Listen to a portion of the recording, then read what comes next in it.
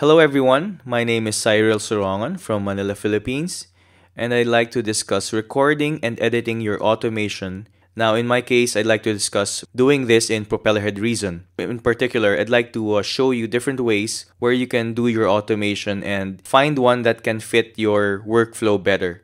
I just did a drum loop and I also added a synth that's supposed to build up.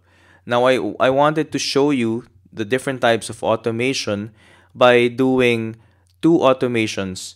I'd like the volume to go up and the gate of the synth to go longer. And what I'd like to do is first have the volume to go up. So now all I have to do is go to the track of the synth that I wanted to automate. So in this case, we're in the track of Thor. I'm now here and as you can see, this is the record automation enable button and it's turned red.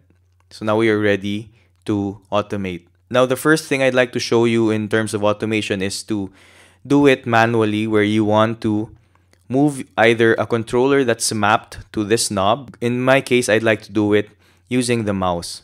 So let's do it.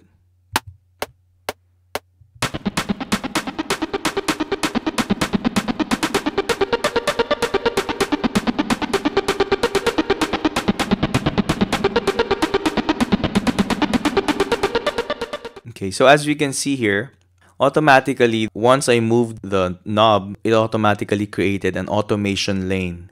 Now I can just double click on the automation clip and I can see now the movement that was recorded. If you're happy with that, you can just keep it. But in my case, I'd like to uh, clean it up a bit because you can see here that it was a bit inconsistent as, as, I, as I wanted to make it smoother. Now in editing it, I can just call up the tool window, which is F8, and I can just select the clip here and we have here automation cleanup and I like to make it maximum and just press apply.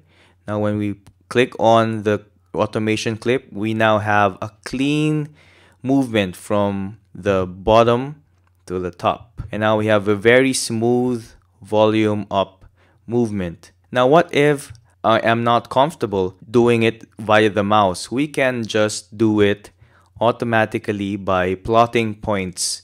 I like to show you that in terms of the gate. Either right click and we have here edit automation. Then you will have an, a lane now automatically created for our automation.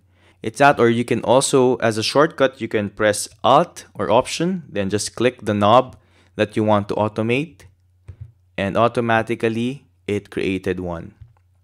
As you can see, indication of automation is uh, shown with a green box here. So now we have an automation lane.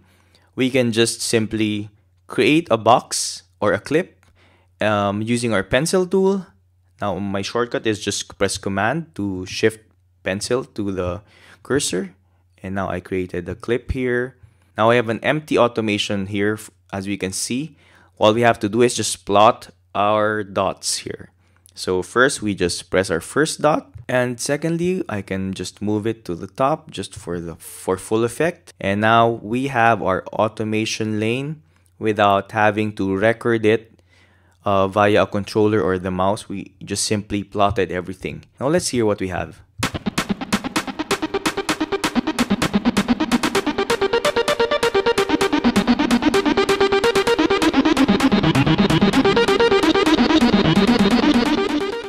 So now we heard that the volume was going up and the gate length was opening up the same time as the volume as we as we plotted earlier. And, and it's up to you now if you want to do it manually by using your mouse or your controller or you can just plot it. Earlier in the first example, we now edited it in such a way when we cleaned it up by using our tool window and using our automation cleanup. Now you can don't forget that you can select um, the amount of cleanup that you want, but in our case, I just chose maximum just for you to see the whole effect that it removed all the other dots in the recorded automation lane. So there, I hope you picked up a thing or two. Thank you very much and have a good day.